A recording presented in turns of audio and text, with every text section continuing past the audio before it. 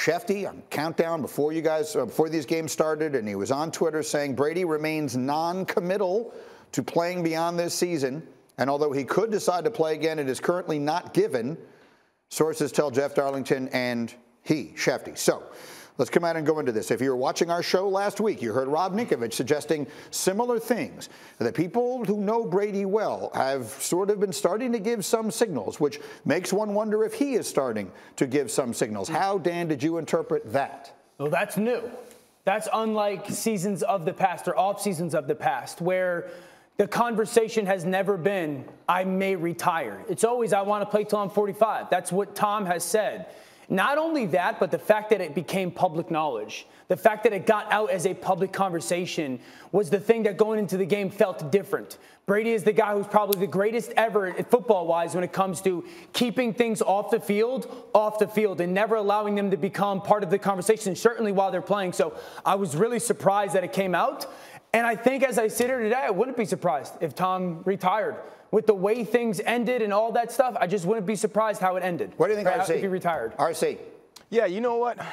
I truly don't know. And, and, I know you like me to get on here and, and make up some stuff. Like I could tell you what's in Tom Brady's mind, but I just can't. When you look at the way that they lost this season, not having a guy like Chris Godwin, Antonio Brown absolutely flipping his lid and taking off his clothes and leaving, and then fighting your way back into this game and having the defense let you down when you had an opportunity to get in overtime, how does Tom Brady digest that? Does he digest that as, you know what, I just, aren't good enough. I just am, am, not good enough, or my team isn't good enough, and we can take the next steps or we can't. There's so much that's going to transpire in this offseason. They brought back brought back all 22 starters. That won't happen next year. Tom Brady won't be walking back into a situation where we think that they have the best team in football. But he's also the ultimate competitor, and his competitive competitiveness has shown us that he can overcome the adversities. Is he willing to do that at 45 with his family now getting older,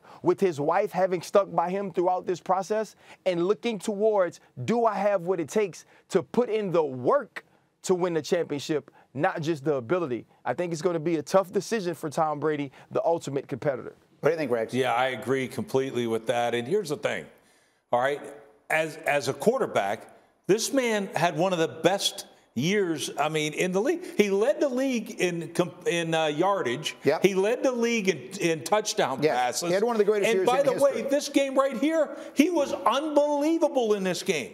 So to me, look, we all want to see our guys, our heroes, go out on top. He's going out on top if he leaves this way, in my opinion. The other thing he's going out, if he left now, he's leaving with all his faculties. Like this guy is healthy, and I think that's important. Now, the competitor in him oh my gosh, he wants to get back on that field. Mm-hmm. I mean, tomorrow, like literally, he wants to get back on that field. But I think he's going to, I mean, I, I believe what he says. He's going to take time, he'll evaluate it and do what's best for him and his family.